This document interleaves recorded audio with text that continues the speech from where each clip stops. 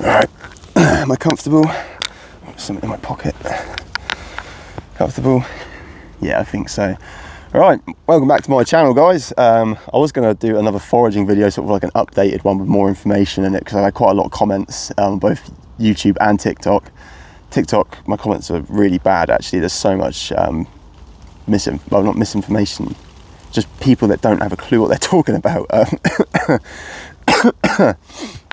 oh, sorry, I got a rough chest. I um, breathed in cement dust at work about a week ago, and I started coughing up blood. But um, we're gonna, we're just gonna brush over that because that was kind of scary. But I'm all right. I'm okay now. I went to the A and E. I'm absolutely fine. Um, chest is just still a little bit raw. But yeah, so the lookalikes. A lot of people are asking if the lookalikes are dangerous. Um, most of them aren't. Most of them are just going to give you the shits at most. Um, bad stomach. You might end up being sick. Um, so not ideal. Don't eat the lookalikes. You know, mate. Do do learn the differences. Don't just fucking grab everything and you know hope that in, in your in your mix of um, like Protostropharia and Panaeolus, that there's enough Liberty caps that are still going to get you sort of you know where you want to be.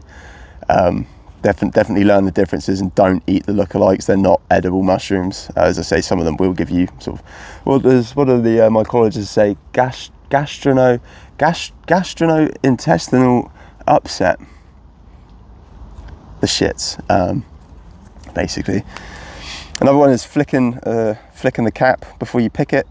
Realistically, I don't see how that does anything. Um, you know, there's there's specialized cells in the gills of the mushroom that that produce the spores and release them when they're when they're ready, you know, mature enough to be released. Um, flicking them, flicking them is not gonna, it's not gonna do that. Um, but something you can, something I think that is is actually quite good practice is to collect your mushrooms in a in a mesh bag. So this is just one of those plastic fruit, like fresh produce bags that you get from uh, Asda, Asda, Sainsbury's, Lidl's, Tesco's, the lot. They all do them. Um, obviously, this is a this is a fine mesh bag. So the idea is obviously it holds all your mushrooms, but the mushrooms don't die the second that you pick them out of the ground. Um, they're gonna they're gonna still be releasing and producing spores for a good few hours, if not days after they've been picked. I think as long as they've pretty much got a decent amount of water, um, they'll, they'll still be going for quite a while. So as you're going around gathering all your mushrooms up, this bag is going to allow the spores to, to be dropping all over the field as you know you spend the next few hours gathering more mushrooms so i think that if you haven't got one of these definitely grab one because I, I, do think this is probably probably best practice when when picking. Another common um, sort of rumor old wives tale whatever you want to call it is that somehow picking the picking the stipe out of the ground in its entirety somehow damages the the mycelial network under the ground. What i hear actually a lot of people's claim is that it damages the roots. Uh, mushrooms don't have roots. Mushrooms are mushrooms are made up of um, bundles and bundles of hyphae, which are like just very very thin, like a stringy substance. Um, and it bundles and knots together to create mycelium, and then the mycelium bundles and knots together to create the fruiting body to create the mushroom. Um, it's it's it's turtles all the way down. There's no root system there to be damaged. Um, and in fact, there was a study actually, I believe it came out last year, 2023 maybe. I'll, I'll, I'll put it in the comments if I can remember because it's an interesting one. I can't remember if it was done on mycorrhizal species, so species that um, sort of live symbiotically with plants and trees and things, or if it was done on um, saprotrophic, saprobic.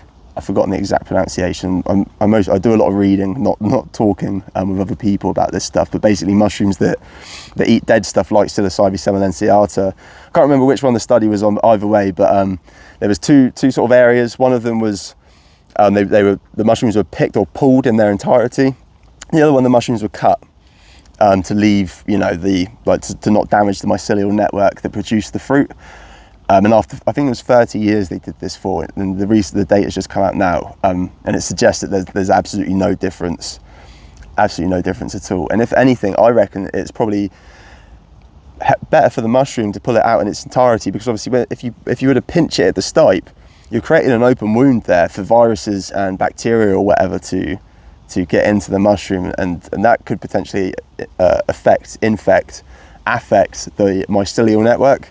So, if anything, my intuition as a, as a horticulturalist and an amateur sort of botanist mycologist um, is that pulling it out in its entirety is probably better for the overall health of the mushroom. And I wouldn't be surprised if it actually stimulates it to grow more. as well. Again, just intuition. I've not sort of read anything that, that backs that up, but you know, logic, logically thinking, sort of critical thinking would suggest that's the case. Um, but yeah, I'm pretty pretty sure that was that was all I really wanted to bring up. Yeah, picking it its entirety, flicking the cap. Yeah, mesh bags. Look, thanks for uh, thanks everyone that subscribed. I've had like a thousand subscribers in the last month. Obviously, most of you guys are here because you're interested in picking um, psilocybe species of mushrooms. I'm, i definitely need to bring out a video on wavy caps psilocybe cyanescens.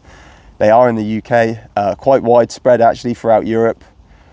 Um, they were first documented in, what is it, 1952, something like that, in Kew Gardens. Um, and that was like the first real sort of time they were documented in the UK, but with, with how widespread they are, they've, they've been here for a bit longer than that. I think, um, who was it, Alan Rockefeller? Probably not. Um, that's just a famous name in mycology, although he might have had something to do with it. But somebody, somebody sequenced um, a load of psilocybe cyanescens not long ago, and they they found that it was like really genetically similar to um, other Australian species of psilocybe, other like sort of you know mushrooms that are, that are you know related at like a family level or whatever.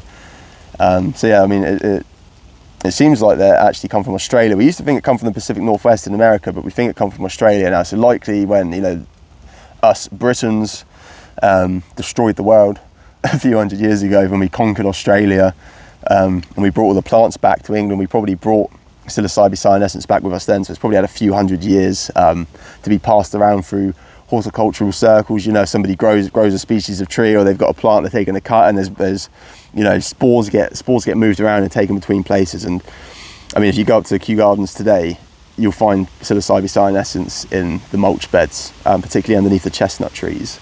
But I didn't tell you that. um, I certainly did not tell you that. Yeah, annoyingly, you might be able to hear the rain now. It's actually getting heavier. I was really, really still hoping to redo that that first video, um, that foraging video, but yeah, the weather's heavy.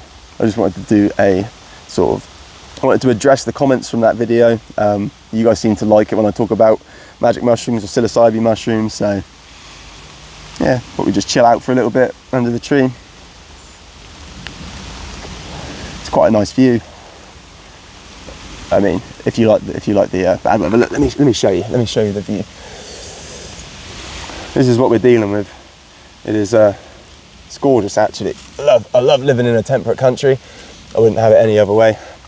Actually, I would. I would love to live in Texas, dude but I'm glad I'm glad I was raised and born born and raised in a in a temperate region. The rain's nice. It's just turning into autumn as well, so all of the uh, all the trees are starting to turn orange, which is pretty sweet. Yeah, just rambling, rambling and rambling at this point. I've said everything I wanted to say, but I do uh, quite like talking to you guys. Hopefully, I get some more comments generally enjoy interacting with the community. Hopefully, I feel like we're starting to build a little community here. Um, I'm starting to have people that are commenting on, you know, multiple of my videos um, that seem to enjoy the sort of content that I put out. I know this is slightly a bit more, a bit more chilled and slower. Not that my content's like fucking exciting or racing or anything, but it's exciting to me. I get excited over plants and mushrooms and things, and I hope you guys do as well. That's probably going to be it for that one. Goodbye.